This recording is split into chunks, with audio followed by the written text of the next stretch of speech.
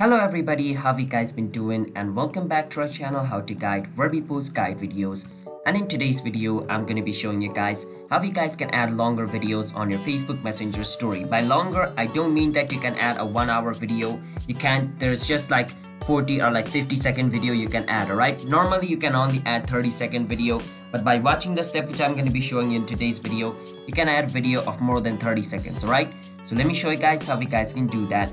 But before that if you guys are new to our channel how to guide then don't forget to hit the like and subscribe to our youtube channel with notification on so you guys can get notified for our future video let's move on. First step what you want to do is come to your you know phone and record a video using your phone's camera. Do not use facebook's camera. By facebook's camera i mean this camera alright so i'm just gonna go to my facebook over here and i'm gonna go on stories. Click on the plus icon. As you guys can see don't use this camera. Use your phone's inbuilt camera alright after you use your phone's camera to record a video what you want to do is open your messenger and go on versus stories over here.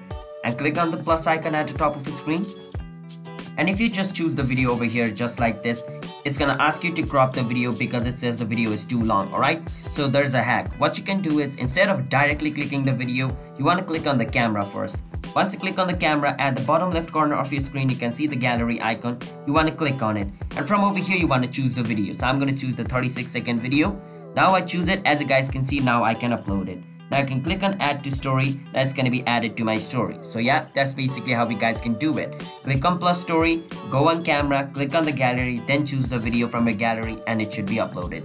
So yeah that's how you guys can add longer videos on facebook messenger story. So if you guys found our video helpful then don't forget to hit the like and subscribe to our channel how to guide. I'll see you guys next time. Bye bye and stay safe. Peace out